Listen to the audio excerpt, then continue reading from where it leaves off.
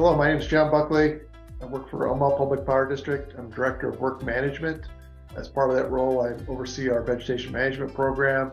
We've got about 6,800 miles of distribution overhead lines and 1,300 overhead transmission line. Not unlike other utilities, we've had some budget cuts over the years, which have impacted our productivity and our cycle trimming. We had circuits that were in the eight to 10 years old range since we had last trimmed those circuits. We were managing that off of Excel spreadsheets, just looking at date last trimmed and prioritizing our work that way. Really, we were just limited to data.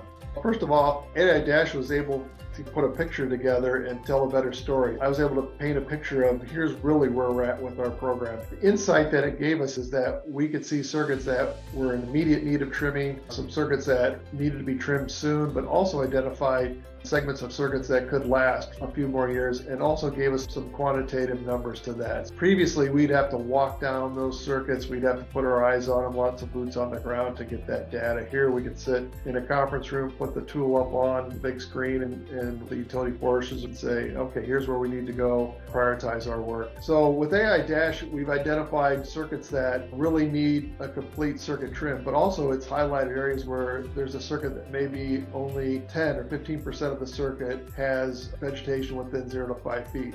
So we're going to start a program where we're going to hotspot those circuits to drive reliability while also taking care of larger circuits that the entire circuit has veg within zero to five feet. The ultimate impact we're trying to resolve is customer minutes of interruption that are resulting from trees. And so with the tool, it's able to identify areas where we have the most impact on that customer reliability. And so this has enabled us to focus our efforts on areas that need the most.